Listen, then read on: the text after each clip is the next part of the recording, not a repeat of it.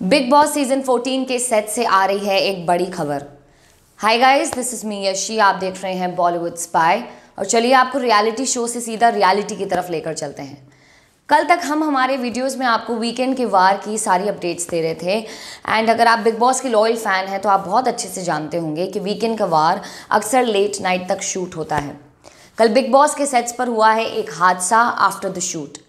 Pishta Dhakad जो कि talent manager हैं और सलमान खान के काफ़ी क्लोज भी रह चुकी हैं और रियलिटी शोज़ लाइक वॉइस और खतरों के खिलाड़ी हैंडल कर चुकी हैं। सिर्फ़ ट्वेंटी फोर ईयर्स की थी। शूटिंग कंप्लीट करने के बाद में अपनी एक्टिवा से with one of her assistants निकली थी और एक्सीडेंट की वजह से उनकी ऑन द स्पॉट डेथ हो गई।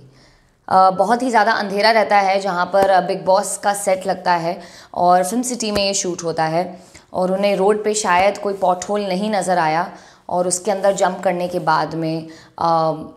वो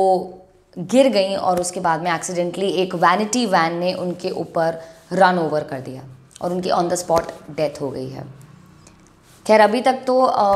सलमान खान की तरफ़ से या उनकी टीम की तरफ़ से कोई स्टेटमेंट नहीं आया है बाहर, पर